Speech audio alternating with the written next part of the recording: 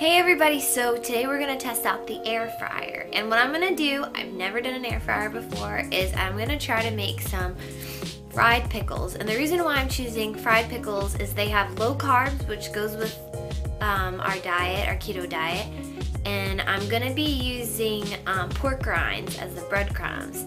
So I'm gonna test it with pork rinds as well as with almond flour. So we'll see which one tastes better. All right, let's see how this goes. So I'm going to dip a couple of pickles in here. Okay, there's one. The almond flour.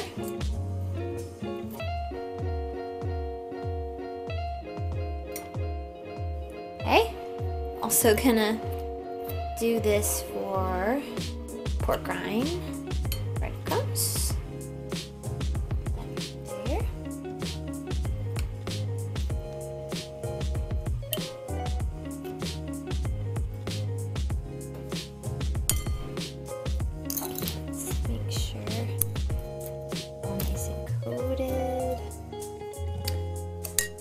look like they're gonna be yummy. We will see how it actually turns out. Um, okay. The air fryer also didn't realize that it comes with a little healthy cooking manual so that you can test a couple things out. Let's see what we got here. Tuna patties. Let's see. Baked garlic parsley potatoes. Um, chicken and broccoli casserole little fancy chicken cordon bleu.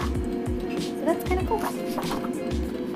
So the timer just went off. Let's check them out. And when the timer goes off, it automatically turns off too. Ooh, they look pretty crispy. let's see, these are almond flour ones. Kind of squish that one.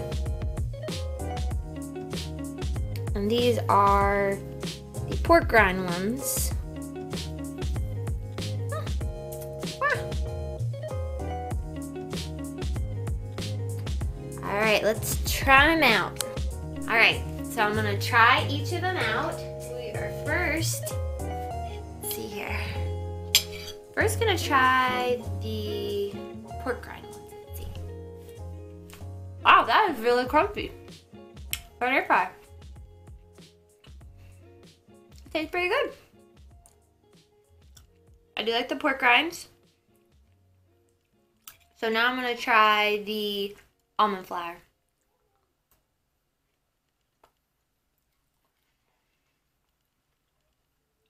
Still hot. They're both really yummy. Now, what you could dip this in is a little side of horseradish. So good. So I hope you guys enjoyed this video. Thank you all for watching. Please subscribe. Bye.